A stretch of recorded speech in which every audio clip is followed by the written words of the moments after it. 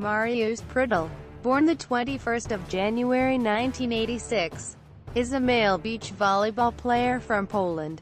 He competed in the 2012 Summer Olympics with his partner Grzegorz Fijałek.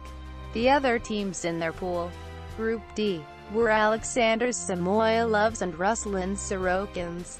Latvia, Jake Gibb and Sean Rosenthal, USA, and the South African team of Freedom Chiya and Grant Goldschmidt.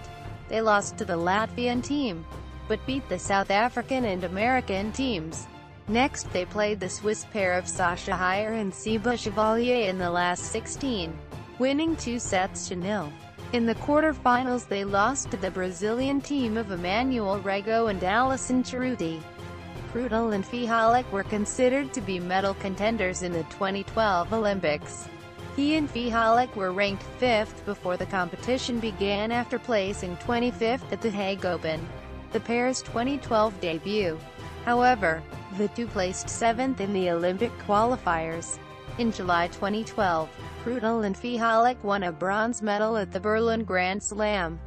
Prudel was born in 1986 in his hometown of Rybnik, Poland. He is coached by Martin Ilanak and is married to Annie Prudel.